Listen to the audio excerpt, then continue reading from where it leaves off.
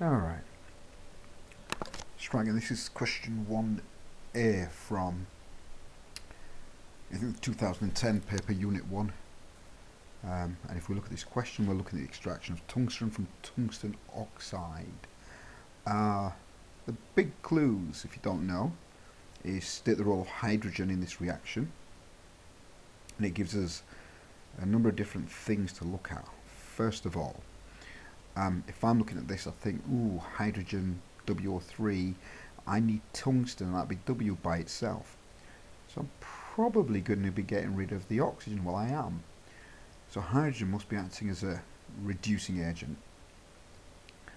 And forgive the writings, I get used to my brand spanking new pen. So hydrogen's acting as a reducing agent.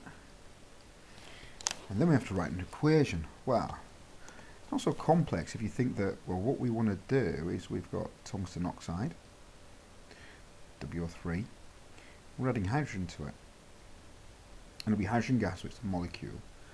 And what we will be forming is the metal, W, and, well, the only possible thing is water, H2O.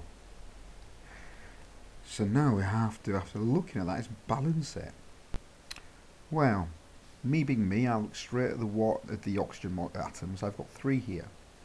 And if water molecules contain one oxygen atom, and if I've got three oxygen atoms here, I'm going to need three water molecules because that'll give me a total of three oxygen molecules, which is the same here as here.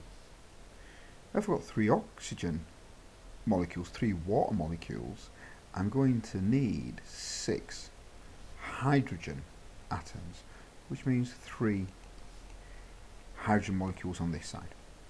Okay, State one risk of using hydrogen gas in metal extractions is the reason why I go into chemistry.